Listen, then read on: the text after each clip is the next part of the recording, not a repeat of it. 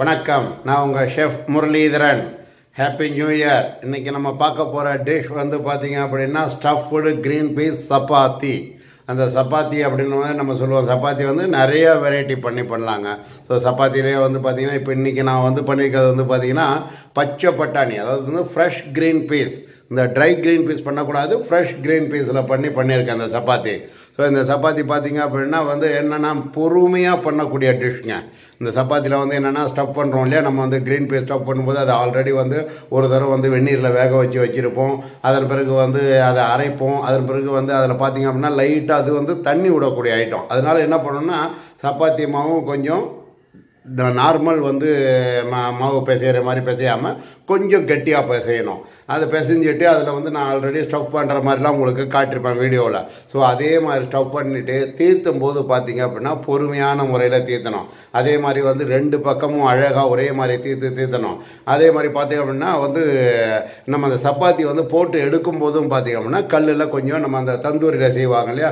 அந்த சப்பாத்தியை வச்சு கொஞ்சம் லைட்டாக அழுத்தி அழுத்தி பண்ணுவாங்க பாருங்கள் அதை மாதிரி வந்து என்ன பண்ணணும்? இந்த சப்பாத்தியையும் என்ன பண்ணணும்? லைட்டாக வச்சு வச்சு அழுத்தினீங்க அப்படின்னா ஓரமலாகும் வேகும்.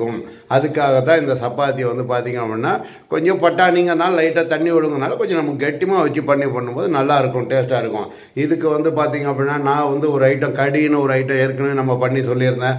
அந்த கடிங்கிற ஐட்டம் தான் நம்ம பண்ணி பண்ணியிருக்கோம். டேஸ்ட்டு அது சாப்பிட்றதுக்கு சைட் டிஷ்ஷாக ஸோ அந்த கடியை பற்றி உங்களுக்கு சொல்லித்தரேன். இன்றைக்கி நம்ம பார்க்க போகிற டிஷ் வந்து பார்த்திங்கன்னா அதான் ஸ்டஃப்டு சப்பா க்ரீன் பீஸ் சப்பாத்தி.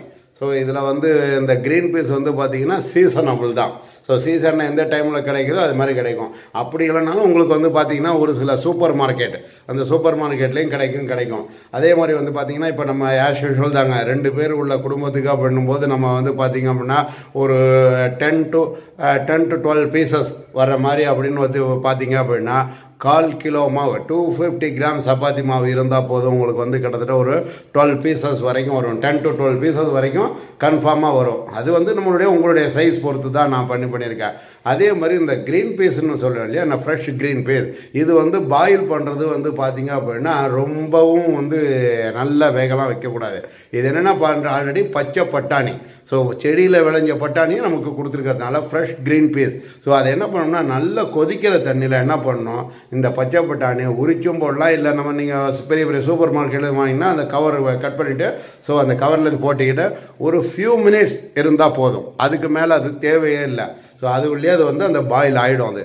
அதை பிறகு அதை வடிகட்டிட்டு அதை வந்து என்ன பண்ணணும்? மிக்சியில் நம்ம என்ன பண்ணியிருப்போம் மிக்சியில் பச்சை மிளகா க்ரீன் பீஸு கொஞ்சம் ரெண்டே ரெண்டு ஜீரகம்.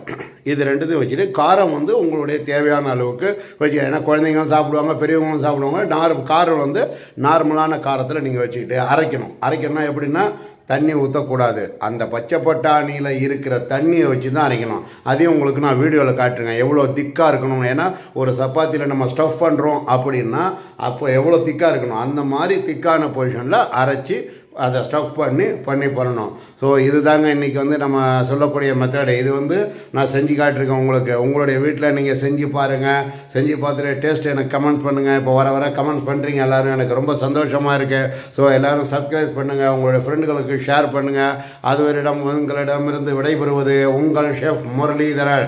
நன்றி வணக்கம். எப்போதும் போல தான் ப்ரொவிஷன்ஸ் வெஜிடபிள்ஸ் வந்து உங்களுக்கு வீடியோலேயே வந்து நான் அளவோடு கொடுத்துக்கிட்டு இருப்பேன். ரொம்ப தேங்க்ஸ் நன்றி. கோதுமை மாவு இரநூத்தி ஐம்பது கிராம். சால்ட் தேவையான அளவு.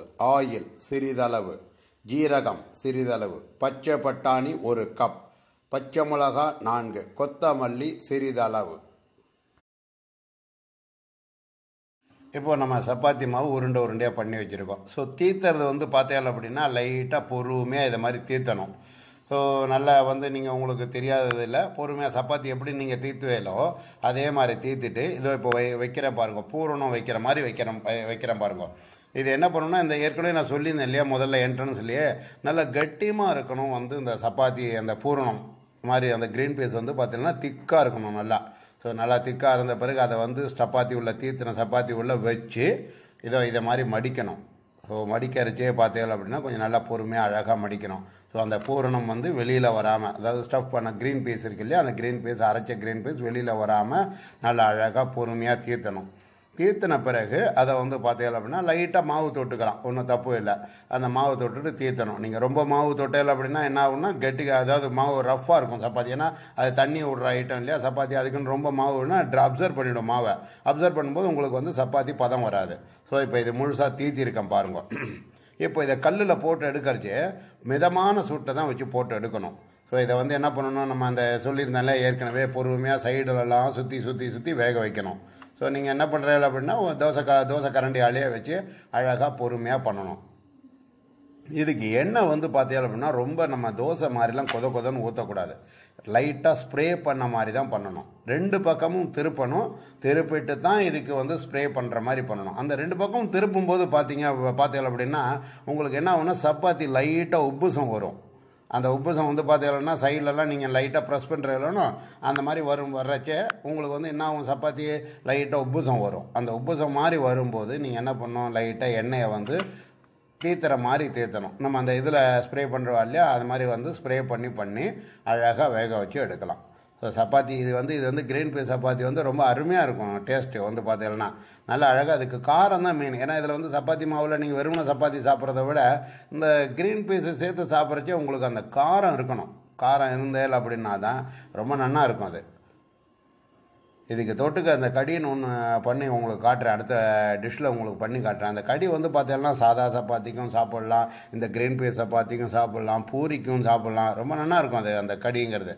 இப்போ பாருங்க சப்பாத்தி வந்து ரெடி ஆயிருக்கு. இதை பாருங்க இப்போ வந்து என்ன பண்ணுறேன்னா லைட்டாக வந்து அழுத்தி அழுத்தி விட்றேன் பாருங்க. ஸோ அழுத்தி அழுத்தி விட்றச்சே பார்த்தீங்கன்னா அந்த உப்புசம் வரும் சப்பாத்தியில். அந்த வேகறச்சே அந்த அந்த ஒரு சாஃப்ட்னஸ்னால வேகுது இல்லையா? வேகும்போது வந்து பூரி மாதிரி உப்பு லைட்டாக அதுக்குன்னு ரொம்பவும் உப்பு உப்பாது. லைட்டாக அந்த ஓரத்துலலாம் அந்த உப்புசம் வரும். அந்த உப்புசத்தை நம்ம அழுத்தி அழுத்தி விட்டு வேக வச்சோம்னா ரொம்ப நல்லா இருக்கும் அது வந்து சப்பாத்தி இது பார்த்தீங்கன்னா இப்போது இந்த பக்கமும் திருப்புறோம். திருப்பிட்டு இந்த பக்கமும் ஆயில் வந்து லைட்டாக நம்ம வந்து ஸ்ப்ரே பண்ணுற மாதிரி பண்ணணும். பாருங்க இப்போ இது வந்து நாலா பக்கம் இருக்குது இப்போ இது மாதிரி தீத்துறது தீத்துறச்சே கொஞ்சம் உங்களுக்கு அப்படி தான் வரும். ஒன்றும் தப்பு இல்லை.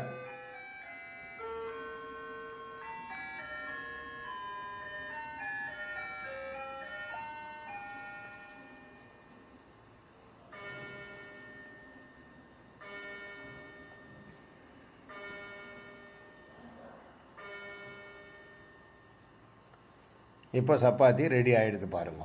நல்லா இது கூட ரெடி ஆகிடுது கடியும் ரெடி ஆகிருக்கு so stuffed green peas chapati ready இதுக்கு குழந்தைகளும் சாப்பிட்லாம் பெரியவாளும் சாப்பிட்லாம். நல்லாயிருக்கும் இது ஒன்றும் வந்து இது பண்ணுற ஐட்டம் கூட ஜெரிமானம் ஆகக்கூடிய ஐட்டம் தான். சப்பாத்தி மாதிரியே தான் இது. So stuffed green peas chapati ready